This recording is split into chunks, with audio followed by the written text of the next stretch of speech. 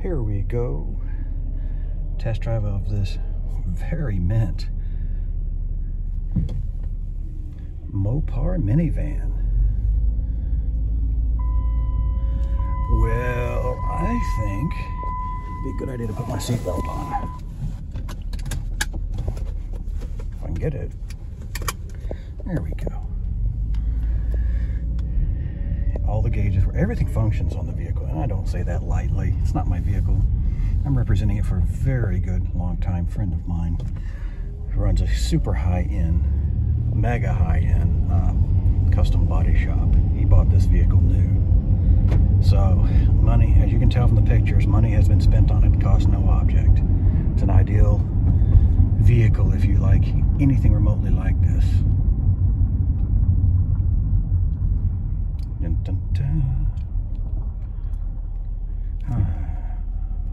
Rush hour in Lewisville, Texas, a suburb of Dallas just north.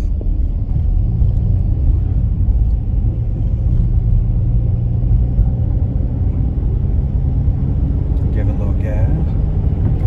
Nice and quiet.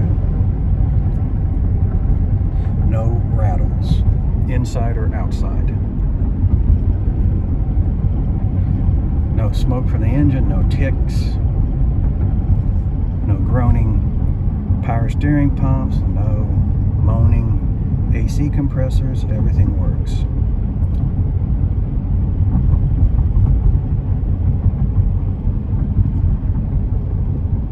Steering wheel is straight, doesn't pull one way or the other. Brakes do not grind, squeak, rattle. All the fun stuff that brakes can do. And we know that steering wheel is straight.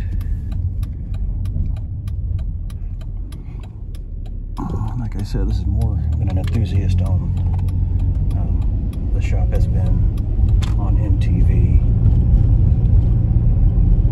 and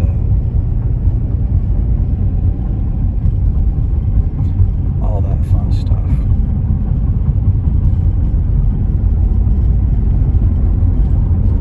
Hope this helps. Here, let me get it to a straight part of the road.